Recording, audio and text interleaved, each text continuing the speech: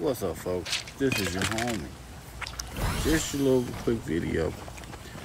Well, I'm still kind of frustrated with the Xbox because the only thing that I'm frustrated with the Xbox Series X or S, no matter which one it is, both of them anyway, is that you cannot stream to YouTube. That is, you can stream to Twitch, but you can't stream to YouTube.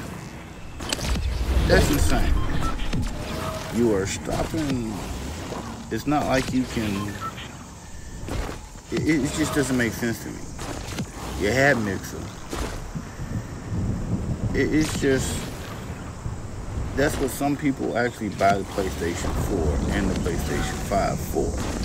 Because they can do that they can create content on their box. I think it should be an all-in-one. It's just me.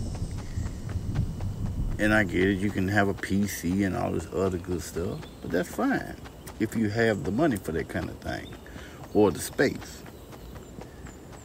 I'm a minimalist. I don't like having cords running all over the place trying to get this and that to go. But it's just me. Microsoft, you can do this, man. Xbox, you can do this. It ain't hard. I know you think it's hard, but it's not hard. Go ahead and get it done, man. You feel me? Because you make a lot of Xbox fans happy, and they don't have to depend on Twitch. Because Twitch can be funny as hell sometimes. So, but with that being said, man, just, just get this shit out, man holler at you